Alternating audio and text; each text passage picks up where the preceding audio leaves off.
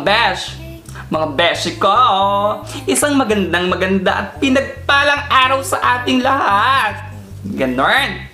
So, hindi na ako magpapaligoy-ligoy pa dahil magsisimula na tayo sa ating Harley Quinn's makeup tutorial. Maglalagay lang tayo ng konting twist, a little bit of exaggeration, pero hindi siya magiging OA tingnan. So, I hope makapagbigay ako ng ideas and tips para sa darating na Halloween. Even we will celebrate it at home because of quarantine, mga besh! Before we begin, Don't forget my YouTube channel. It's Joben Aribiana. And click mo yung subscribe button and hit mo yung notification bell para sa mga susunod kong video mga besh.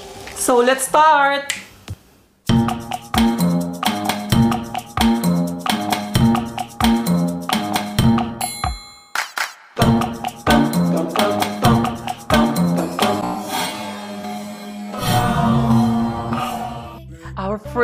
Mga beshi ko is ang ating base.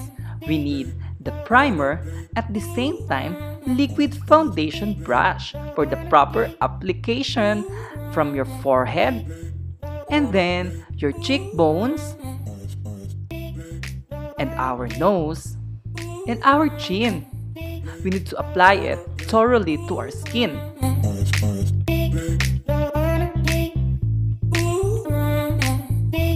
After application mga besh, kailangan naman natin itong i-blend using our sponge. So I prefer to use beauty blender but depende pa rin yan sa inyong mga besh. Kahit ordinary sponge lang yan, go for it. After blending mga besh, we need to use school glue and our eyebrow brush para i-cover up natin yung ating kilay.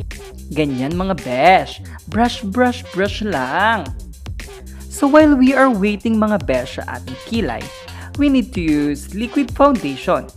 And remember mga besh, you need to use shade that is lighter than your skin. Using the same brush, we need to apply it the same way as the primer mga beshi ko. And make sure mga beshi ko, every spot malalagyan natin ng liquid foundation. After application mga besh, we need to use the same sponge for blending. And remember, blend it well for beautiful outcome. Ganun!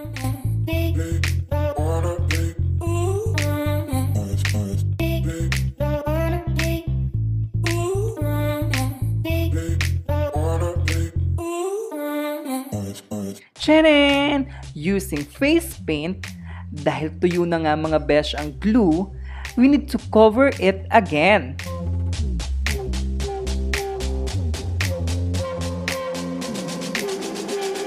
At the same time, maglalagay na rin ako ng liquid foundation para i-balance yung kulay nito.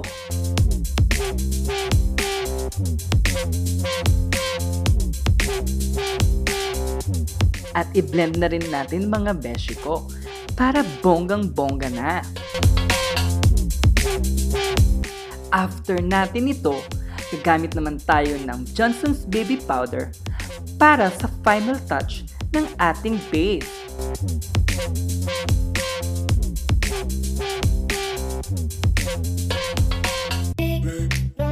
Remember to cover everything mga beshi ko. Cover lang ng cover.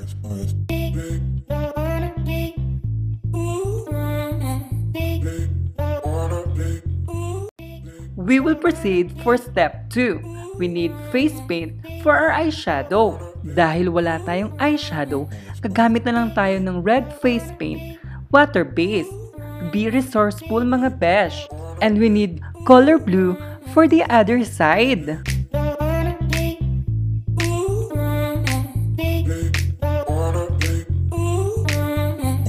Gagamit tayo ng tubig at contouring brush para ma-blend natin ng ating eyeshadow mga beshi ko.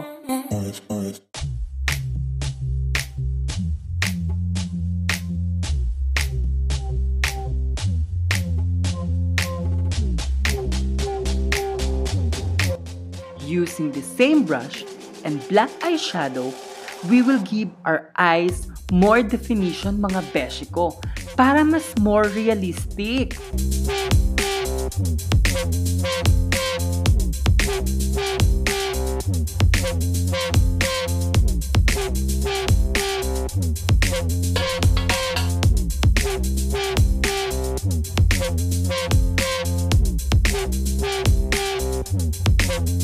And after that mga besh, we will add more colors to our eyes and we will make it bolder.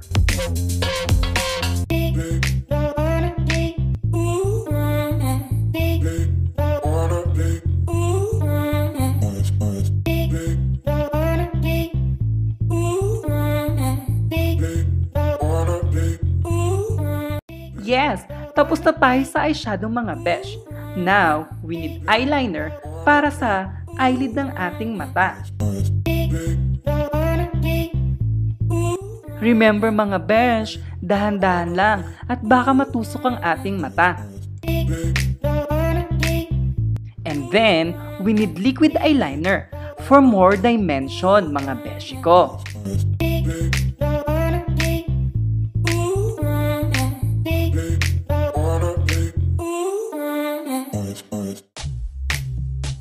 After that mga besh, we need an eyebrow pencil to draw an outline para sa overlap na kilay natin.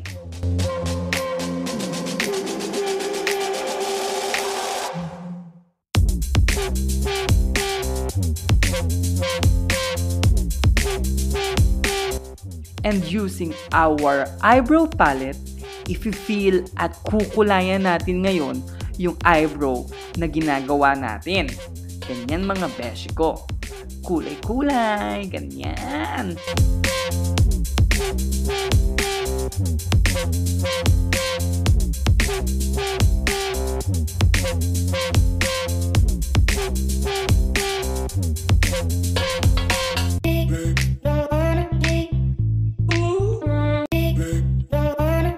After nating kulayan ng ating kilay, we will use white eyeliner para mas lalong ma-emphasize ito. Always remember mga beshi ko that kilay is life. Ganon.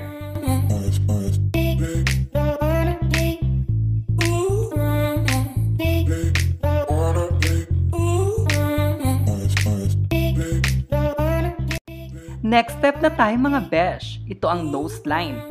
Gamit tayo ng darker shade ng contour at gagawa tayo ng outline gamit ang ating kamay.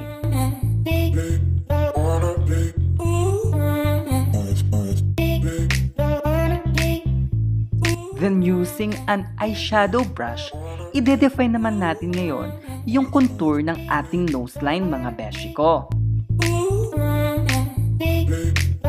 At pagkatapos niyan mga beshi ko, gamit naman tayo ng highlighter para mas lalong magmukhang matangos yung ilong natin. I-blend din natin tong mga besh para yung effect sa camera bonggang-bongga. Ang next step is our favorite step, false eyelashes mga beshi ko. Remember, slowly but surely with exclamation point to avoid irritation.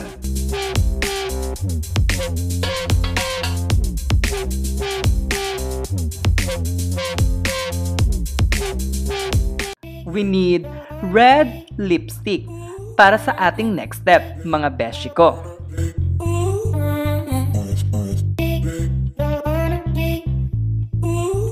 Define and shape your lips and make it bolder.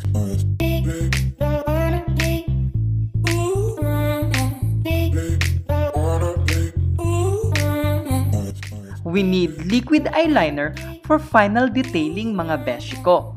Maglalagay tayo ng scratch.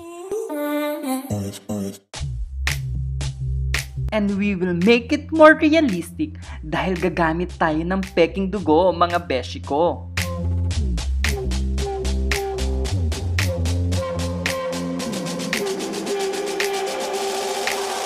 And we will use black eyeshadow para mas lalong kabilib-bilib mga besh.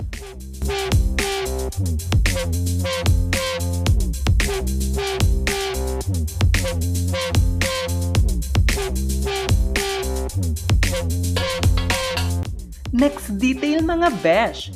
Gagamit pa rin tayo ng fake blood to make our look more recognizable.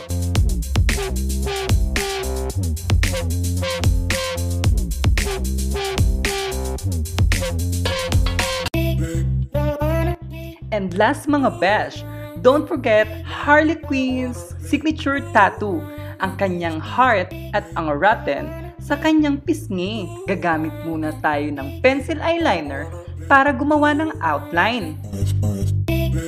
And liquid eyeliner para i-highlight ito.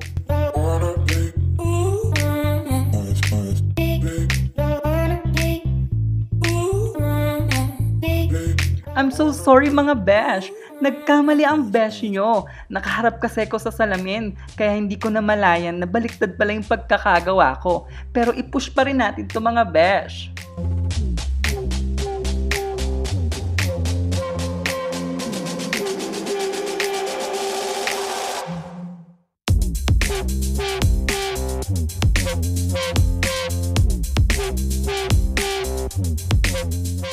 At para sa last detail natin mga beshi ko, maglalagay tayo ng mga contour gamit ang black eyeshadow para mas mukha tayong nabubulok.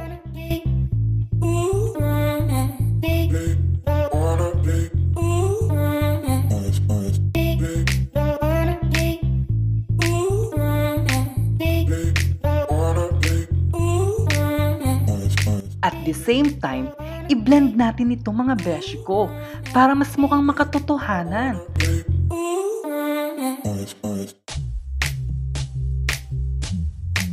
Ayan na mga besh! Excited na akong makita yung outcome nito. At ang huling step mga beshi ko is maglalagay na lang tayo ng wig.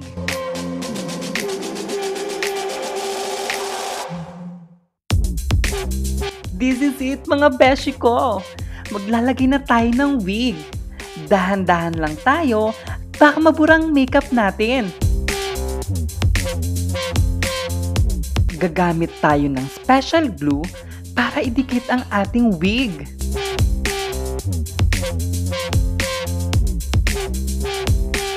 And last, hairspray mga besh. Iset natin ang ating buhok para pwede na tayong umaura. And we're finally done mga beshi ko. And this is our final look. Thank you for watching mga beshi ko.